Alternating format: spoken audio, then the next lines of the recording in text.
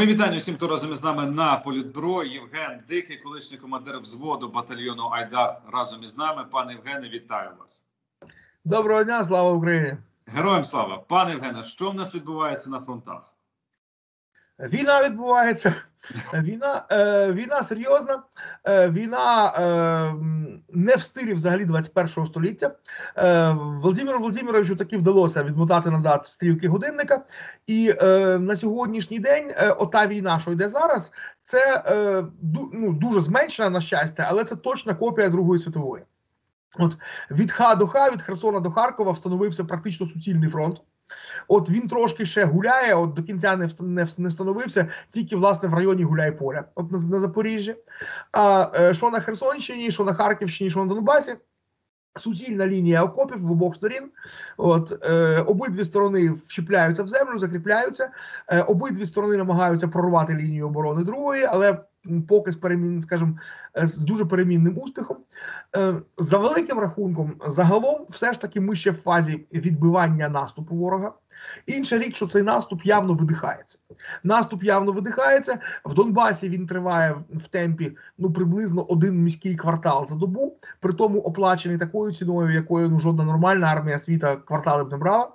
От е, на Херсонщині взагалі ні ворог не здатний просунутися. Ну поки і ми сильно не просуваємося. Там фактично е, власне е, таке. Якщо подивитись по карті, то фронт стоїть. Це, до речі, не означає, що там ніхто нічого не робить. От, до речі, нам треба звикати. Нам треба звикати, що ми е, найближчі місяці е, не будемо кожного ранку прокидатися і в новинах дивитись, е, чи є місто під чиїм контролем. Ні, от та карта, що є, вона тривалий час буде приблизно такою з незначними змінами. Згадуємо ремарка. Пам'ятаєте, оце от на західному фронті без змін. Так, от, коли ми будемо е, чути про це на фронті без змін, це не означає, що там затища. Навпаки, це означає, що десятки тисяч людей пробували прорватися кожен зі своєї сторони, але оскільки сили сторін приблизно співставні, то в результаті фронт лишився там, де був. От отак, отак ця війна виглядатиме найближчі місяці. От е, ну е, ворог найбільше зусилля сконцентрував на Донбасі. І е, наше командування треба віддати належне, дуже успішно цим скористалось. От поки ворог основні зусилля сконцентрував е, на Донбасі, за цей час наші вдарили по ослабленому харківському флангу, і в результаті е, вдалося дійсно сильно посунути ворога на Харківщині. Я ще не знаю, чи підтверджується інформація, що е, росіяни взагалі залишають Харківщину. Але факт той, що від міста їх відкинули, і е, для міста це тепер має принципове значення. Е, Харків виведено з під зони дії ствольної артилерії та градів. От тепер по Харкову можуть тільки прилітати калібри та іскандери, ну власне, як по всій території України. Тобто Харків тепер зможе жити таким життям, як, от, наприклад, до цього жив жив Київ. Да, прифронтове місто, але не фронтове. Оце принципова відмінність. Тобто, друге за розміром місто України виведене з під ворожого вогня, може починати відновлювальні роботи, може може повертатися до більш нормального життя. Е, це е, великий успіх. Чи звільнять е, одразу всю Харківщину, чи поки що ворог закріпиться по лінії Сіверського Донця, тобто віддасть нам правий західний берег, але закріпиться по лівому. Ну швидше схоже на друге, тому що одночасно з відступом з під Харкова вони підірвали три великі мости на Сіверському Донцю. Тобто, швидше за все, вони роблять з нього нову лінію оборони. Ну що ж, тобто, це вже на наші території переходять в оборону. Саме так. Ну до речі, так само так само в глухій обороні вони вже на Херсонщині. От вони в обороні, інша річ, що вони там непогано окопались, оборону тримати можуть, але але це саме оборона. От, Ну а в Донбасі вони все ще продовжують наступати, але такою ціною скажемо, що хай ще так трошки понаступають. Це знаєте більш схоже саме на утилізацію е, їхнього війська. Пане Євгене, ну от якщо говорити про новини з Луганщини, Сергій Гайдай заявив, що росіяни майже захопили Рубіжне, а от Білогорівка стала дорогою е, Чорнобаївки. Багато ми чуємо про те, що там відбувається в цій Білогорівці. Давайте ви розкажете нашим. Дивіться, ну, ну по перше, наскільки я знаю з приводу Рубіжного, якщо чесно, я вже не казав би про майже. От Рубіжне вони все-таки вже вже дотиснули. Ну точніше, те місце, е, де раніше було Рубіжне, тому що е, бої в Донбасі йдуть такої інтенсивності, що поки орки займають якийсь населений пункт, вони по факту займають саме руїну. От е, Рубіжне руб, місце з під Рубіжного, на жаль, наразі їхнє. А от в Білогорівці, ну я не знаю, чи дійсно там командування настільки, вибачте, дебільне. Або все ж таки в них просто настільки жорсткий наказ, от прорив за будь-яку ціну, що вони цю будь-яку ціну платять. Що там власне відбулося? От там, власне, е, той самий Сіверський Донець.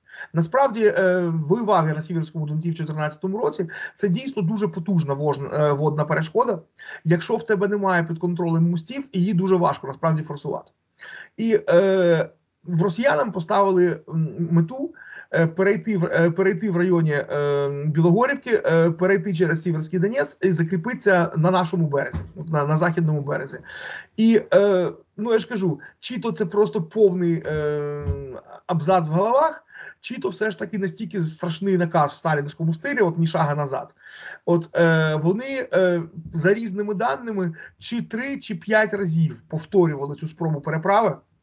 От і кожного разу наша арта цю спробу переправи зривала. От і кожного разу лупили не тоді, коли вони ці понтонні мости наводили, а тоді, коли по ним вже йшли війська і техніка. От більш того, навіть дали зайти частині військ і техніці е, на наш берег. Після цього бахнули понтони, і після цього вже штурмовою операцією 80-та десантно-штурмова бригада. От е, в, ну уявляєте, що це таке, коли ти тільки висадився на чужий берег, от е, за тобою грохнули понтони, а раптом виявляється, що поруч в кущах чекає ворог з танчиками, от і просто виходить і скидає тебе назад в цю річку, тільки вже без понтонів.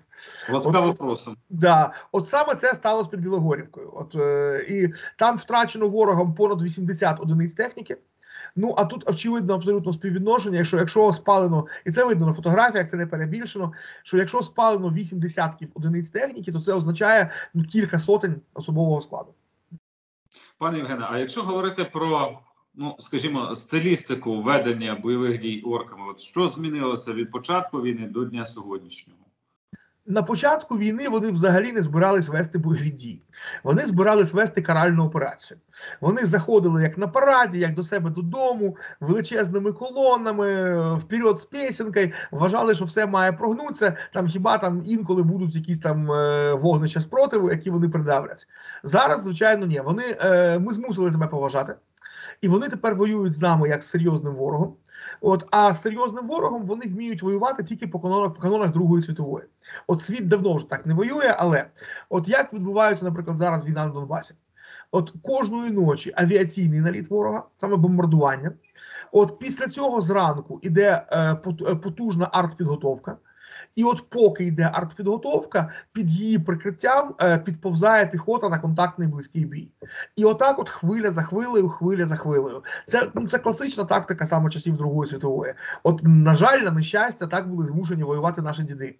От ну от е, наразі так воюють орки, е, і там, де там, де ми в обороні, ну що ж, хай так воюють.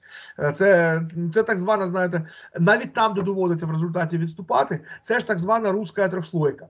Коли перша хвиля піхоти просто наперед відправляється на убой, друга так само, і тільки третя вже заходить, ну тому що закінчуються патрони у захисників. От інша річ, от там, де ми перейдемо до серйозного контрнаступу, от там, звичайно, побачимо, як нам треба буде штурмувати їхні укріплення. Е, зрозуміло, що отак, от в тупу ми це робити не будемо. Що е, ми не будемо отак, от по тупому класти. От е, таку кількість наших солдатів, але відповідно треба буде розробляти якісь креативні методи, як прорвати їхню лінію оборони, яка, на жаль, за два місяці ну, сформувалася.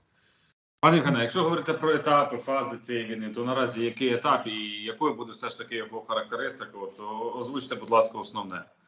Другий, другий етап етап саме затяжної фронтової війни з чітко абсолютно окресленими лінією фронта, прифронтовою смугою, глибоким тилом і, на жаль, окупованими, реально вже окупованими, а не просто тимчасово зайнятими територіями. От е, і фактично це буде е, війна на виснаження ресурсів, нервів. Е, і ем, вона триватиме от така, як зараз, ще пару місяців, поки реально серйозний вплив на неї не почнуть е, чинити оці от нові всі види озброєнь, які нам тільки починає надавати НАТО. От вони зараз ще на фронті не працюють, це треба розуміти. Тобто, Вони потребують серйозного часу для їх засвоєння. От тому зараз друга фаза. Сподіваюсь на третю, десь на середину літа. Мгм. Пане Євгене, спасибі вам. Колишній командир взводу батальйону Айдар Євген Дикий був разом із нами на політбюро. На все добре, до побачення.